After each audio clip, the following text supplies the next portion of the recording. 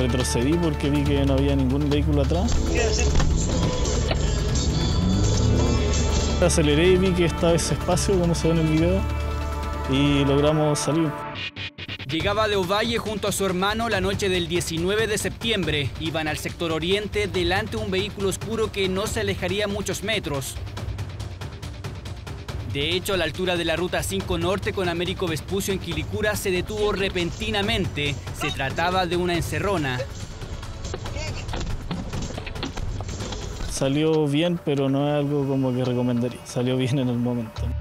Le salió bien, dice. Quien saluda tuvo un resultado idéntico. Mediados de junio, portonazo en el sector de Pedro Fontova Norte en Huechuraba. De un segundo vehículo bajaron tres delincuentes. Afortunadamente, la víctima logró entrar a su condominio y escapar. ¿Qué relación tiene con la encerrona? Bastián Soto Delgado, de 31 años, con antecedentes por receptación y robo por sorpresa. El vehículo que participa en este delito está a su nombre y es el segundo en bajar en este último atraco. Se logra la detención el día de ayer, como dije, en horas de la tarde, en un recinto hospitalario, cuando este sujeto iba a visitar a un familiar. El ahora imputado iba de copiloto en este vehículo BMW sin sus patentes a la vista. Siguió por varios metros al Mini Cooper de las víctimas.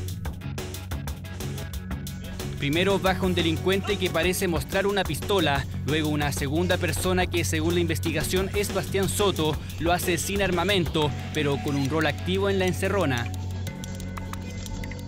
Podrían haberlo disparado, tal vez chocar con el otro auto y quedamos botados ahí.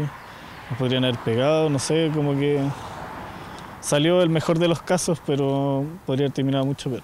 El imputado fue formalizado por robo con violencia en calidad de autor. Las cámaras de la autopista más del auto de los hermanos fueron claves en su identificación.